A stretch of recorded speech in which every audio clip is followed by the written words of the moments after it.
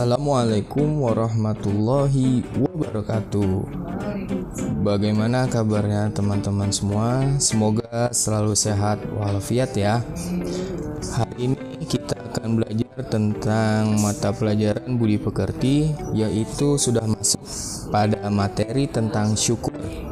Kompetensi dasar kita pada kali ini yaitu kita harus membiasakan berperilaku syukur dalam kehidupan sehari-hari. Misalnya berdoa sebelum dan sesudah makan.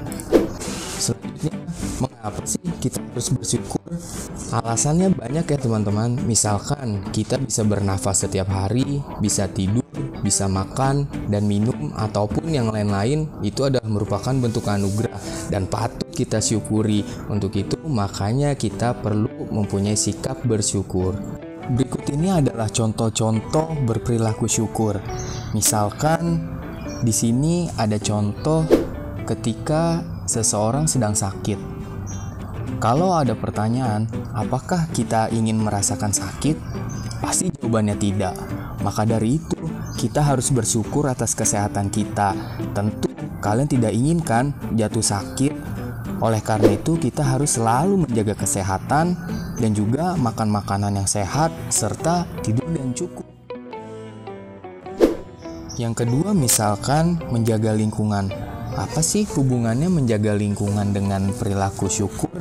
Ternyata ada ya, teman-teman.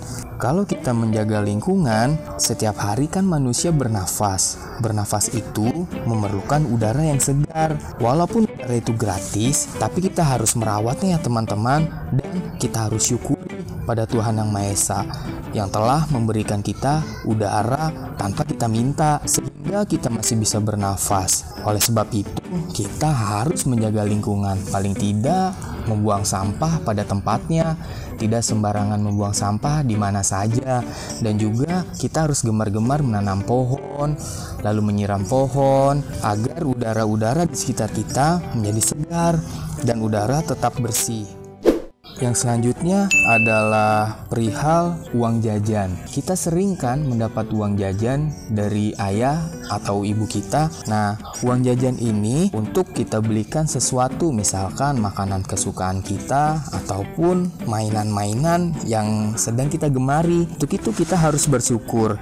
Sedikit atau banyaknya uang yang diberikan oleh orang tua kita harus kita syukuri. Perlu diingat, uang jajan yang telah diberikan oleh orang tua kita jangan selalu dihabiskan habiskan ya setiap harinya kita sisihkan sebagian dari uang jajan itu untuk kita tabung sehingga jika nanti kita ingin membeli sesuatu misalkan sepatu baru atau tas baru kita punya tabungan sendiri Selanjutnya misalkan kita bisa makan Makan itu kan tiga kali dalam satu hari Tapi banyak juga loh teman-teman saudara-saudara kita yang hanya bisa makan dua atau hanya satu kali saja dalam sehari. Ibu kita ataupun keluarga kita selalu menyediakan makan untuk kita dengan tepat waktu. Padahal masih banyak loh teman-teman kita yang kelaparan. Mereka hanya bisa makan satu kali atau dua kali bahkan tidak makan dalam sehari itu. Untuk itu kita harus bersyukur atas makanan yang kita makan, atas minuman yang kita minum. Tidak perlu kita pilih-pilih, makanan ini tidak enak, apa pun yang disajikan oleh orang tua kita atau keluarga kita harus kita syukuri. Nah, cara bersyukurnya itu dengan berdoa. Ketika kita mau makan ataupun mau minum, sebelumnya kita harus berdoa dan setelahnya juga kita harus berdoa. Oke teman-teman, materi kita untuk hari ini sudah selesai ya. Jadi kesimpulannya kita harus bersyukur terhadap kesehatan dan cara bersyukurnya itu dengan cara makan makanan yang sehat serta tidur yang cukup. Kita juga harus bersyukur terhadap uang yang telah diberikan oleh orang tua kita. Jangan dihabiskan ya, ingat ditabung. Dan juga kita harus bersyukur terhadap lingkungan yang sehat. Cara bersyukurnya adalah dengan menjaga lingkungan tersebut. Dan yang terakhir, kita harus bersyukur terhadap makanan yang telah diberikan oleh keluarga kita, maupun itu enak ataupun tidak enak, kita patut mensyukuri dan hendaknya kita sebelum dan sesudah makan dan minum itu harus berdoa ya teman-teman. Baiklah, sekarang giliran tugasnya. Yang nomor satu, pertanyaannya, mengapa kita harus memiliki sikap bersyukur? Nomor dua, maukah kalian mengalami sakit atau kelaparan? Yang ketiga, bagaimana cara menjaga kesehatan.